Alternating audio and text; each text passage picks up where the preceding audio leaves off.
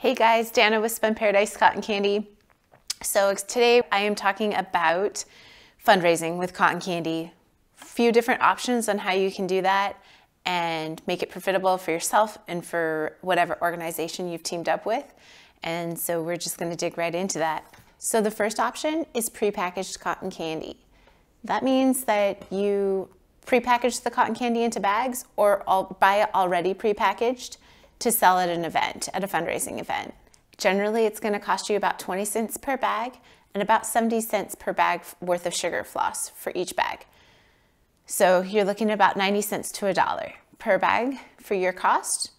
And another option is to just buy prepackaged bags from us. We make the three ounce bags that are generally sold at fairs or fundraisers and events. Whether you make it yourself or you buy it prepackaged, at spunparadise.com, your resale is going to be about five to seven dollars per bag. So no matter what, you're making a pretty good profit off of it. The nice thing about doing prepackaged for fundraisers is that you don't have to take out the machine and all the equipment that's involved with live spinning. So it's pretty clean and pretty easy to do. It's very straightforward and you can, again, make a good profit. The downside to prepackaged is that when you're taking it out to a fundraising event, you're never positive on exactly how much you're going to sell. So there usually are some bags that go to waste that you just either you didn't bring enough or you brought too much. So, you know, ideally we're bringing just almost the perfect amount, but there is always that risk with doing prepackaged for fundraisers. So just keep that in mind. Also, making your own prepackaged cotton candy. Uh, if it's not something you're doing all the time and you don't have a like fully dedicated commercial kitchen uh, for manufacturing, it can be really messy. So if you're just, you know, a member of a PTA or PTO doing this, you know, once a year, it can be really messy and a lot of work to prepackage it yourself. So sometimes the option of buying it prepackaged already is a ni- an easier, cleaner option. The nice thing about prepackaged cotton candy at fundraisers is it's visually appealing. It's perfect. It, there's, you know, the colors, there's the bags, they're hanging everywhere. If you have them in a tent or in a booth, whatever it is you have set up, it's visually appealing and you can play with the bags and put them different spots and people love to see it. It's also super convenient. They can walk up, the cotton candy's already packaged, all ready to go. They can pay and take, and it's there and it's ready to go. A lot of people really prefer prepackaged uh, as far as customers at fundraisers because they can just eat a little bit at a time and kind of roll up the bag or tie it and save some for later. A lot of customers at fundraisers don't really want to eat everything at once like you would have to on a cone. So that's something to keep in mind as well. Where the fundraiser is, if um, prepackaged may be a better option than fresh cones.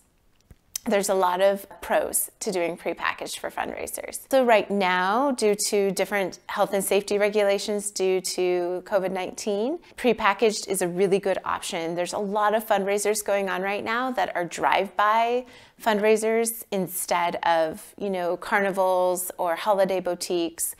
They are, you know, schools and different organizations are setting up in parking lots, larger parking lots, and letting customers drive through to make their purchases. So prepackaged really for current health and safety regulations is a really, really good option for those drive-through fundraising opportunities. Super easy to just hand out the bags. The second option would be pre-sales.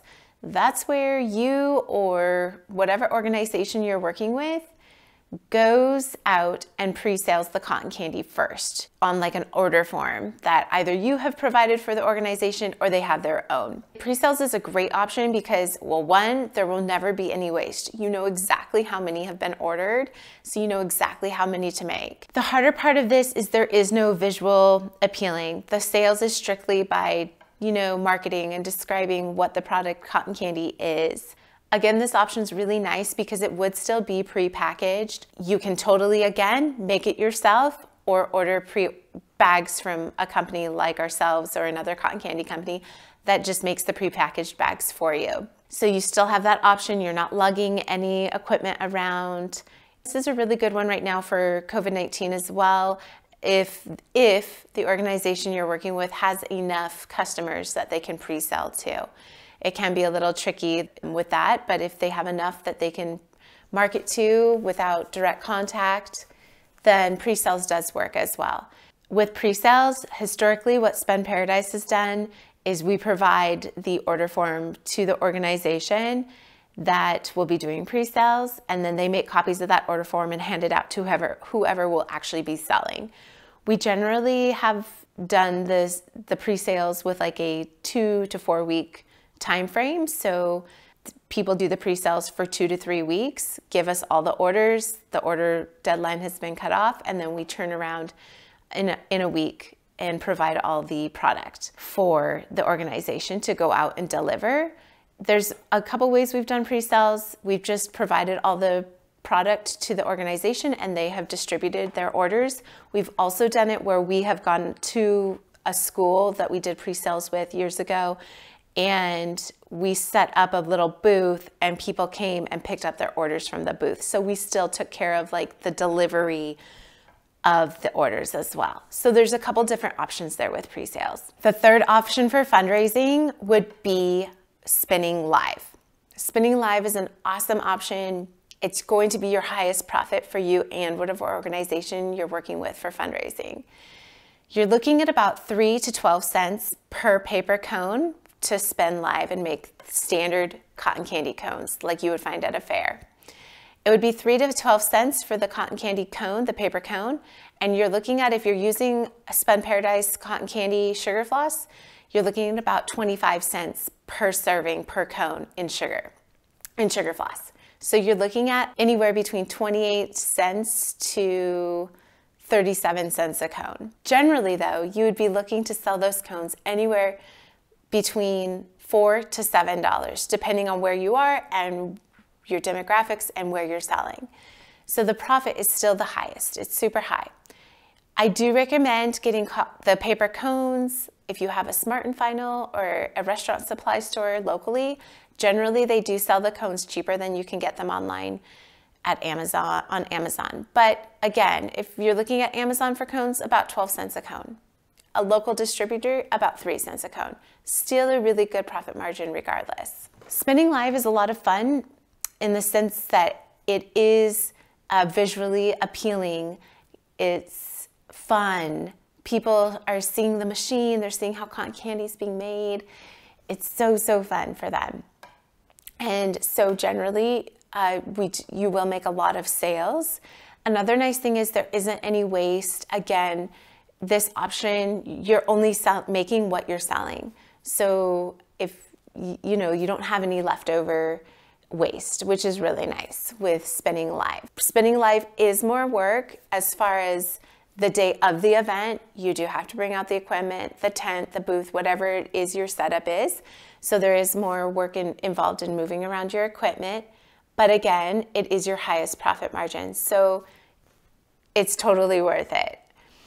I do recommend for fundraising when you're spinning live, max of three flavors for an event that you're expecting anywhere from 100 to 1,000 people at. Anything over 1,000 people, I would say four to five flavors is okay to do.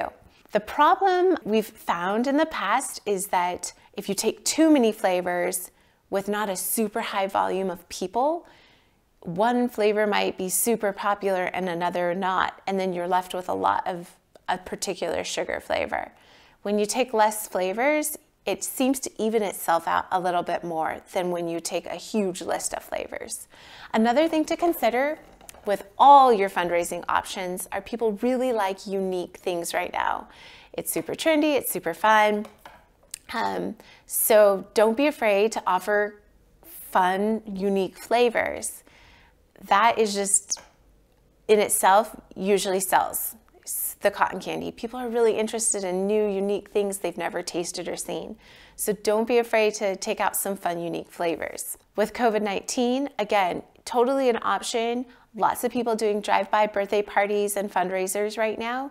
And a lot of them are having cotton candy carts out spinning live. So don't be afraid of live spinning right now with COVID 19 as long as it's um, cleared by your env- local environmental health department. So be sure to contact them and see what works for them and what they are allowing right now in your local county. Live spinning is really fun right now for drive by fundraisers because so fun to have cotton candy cones being delivered to your door car window.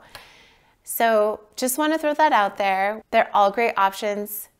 Fundraising with cotton candy is really a high profit no matter which option you go with. We do have a blog post over on our blog at spunparadise.com.